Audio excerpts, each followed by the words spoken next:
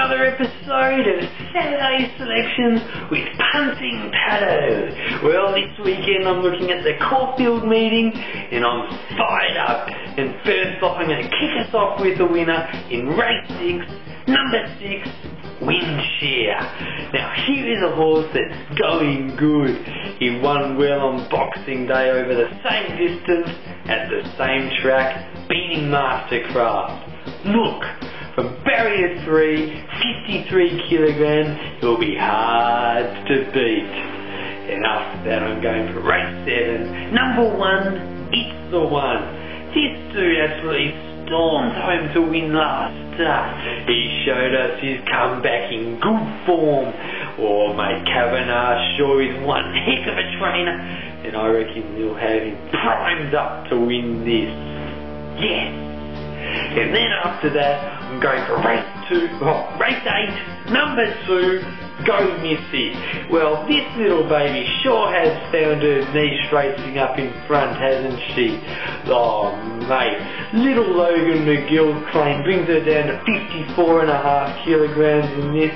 I reckon she'll be hard to run down again. Now it's that time for Parrot Papa. And it's race four, number three, Carrot Cake. This thing hasn't been all that far behind some pretty good horses lately, such as Mind Your Head and Chatham. Look, she gets in with 53 and a half kilograms after Egan's claim. I reckon she'll be competitive in this at some juicy odds. And now it's that time. Double the glory! Double glory, what is your tip? Can you tip us a winner or two? Thank you, dartboard, my dartboard of glory. Ooh!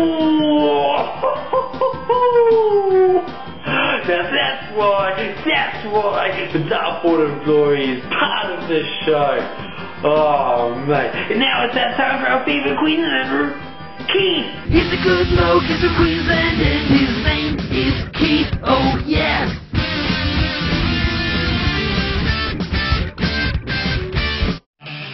Ricardo.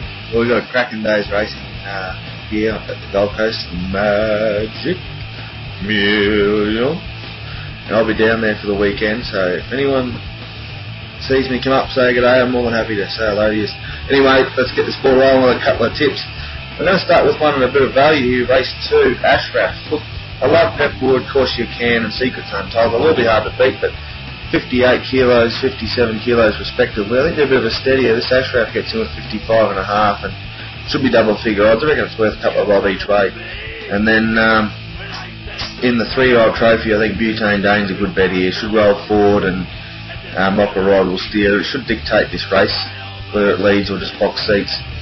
And uh, look, I went looking for something to beat Paprika. I really wanted to find something to beat her, but I just I just can't. I think she just wins from the six alley. She just she lands somewhere nice, and uh, she'll be hard to beat. General Nediym uh, wins just like a dad did, I think. And in the uh, cup, I like uh, Voice Commander because I don't think there's much speed here. I wanted to tip back Piranha, but I just Voice Commander should just get a soft lead. I suppose Calic and Gumnuts might go forward as well, but Voice Commander be hard to beat. All right, Pat, over. Good time on the punt, mate, eh? Oh, thanks, mate. Oh, well, mate, I can tell he's fired up for this weekend. Magic Millions. I hope you have a good one, mate. Hope you, hope you have a good one. and anyway, we're back with a new song this week, and I reckon it's a beauty.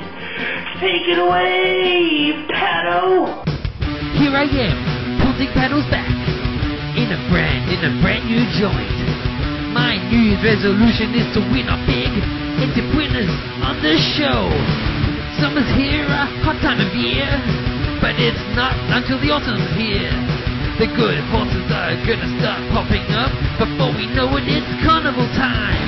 2009 is gonna be a great year. So many group ones and races for us to cheer. I'm so fired up and excited. A new year is before us, let's go good. 2009, a brand new year. 2009, let's make it a good one. 2009, a brand new year. 2009, let's make it a good one. Yes, yes, yes, yes, let's go good, let's go good,